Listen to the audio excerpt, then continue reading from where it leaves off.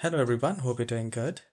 In this video, we are going to change the DNS server on Windows 11, 10 or any other version which you're using. The method which I'll be sharing is a universal method and one of the easiest way to change the DNS server on any Windows. Now changing the DNS server will drastically change the browsing speed. If you're getting higher ping, you can lower the ping for gaming and if your browser is not working fast overall the browsing and internet experience will be way better if you change your DNS server to Google to Cloudflare or any other free DNS servers.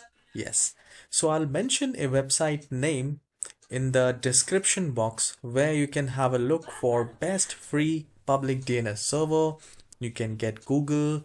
You can change it to Google Cloudflare and make your internet faster in your desktop or laptop. So you can decide which DNS server which you, you want to set and it will hardly take a single minute to do so. Just look at your keyboard and press window and R key together or simply do a right click in the start icon and then go to run. Now here we need to type ncpa.cpl. Now this will work as I said earlier, it will work on all Windows, no matter you're using Windows 11, 10, 7, 8.1. So once you have typed it, hit OK. Now here, if you're using a cable connection, like the Ethernet connection, you can select that. And if you're using the Wi-Fi connection, you can select that as well. So I'm using the Wi-Fi, so I'll just do a right click in that and I'll go to properties.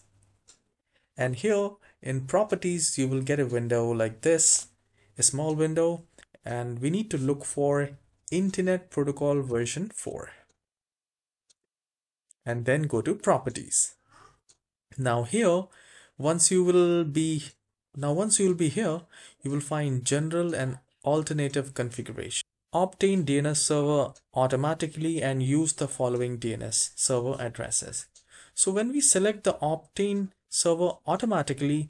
Whatever the service provider you have and their DNS server is you will be getting their DNS server. Now you can change to your preferred DNS as you can see that I'm using the Google DNS and you can just type 8 and then click here and type 8 and 8 and 8 so you can do that. And I'll let, let me go to the website here. You can also change to Cloudflare which is if you ask my recommendation I would recommend Google Cloudflare OpenDNS whichever works for you. Please let me know and leave a comment that you have successfully changed the DNS server in your laptop or desktop.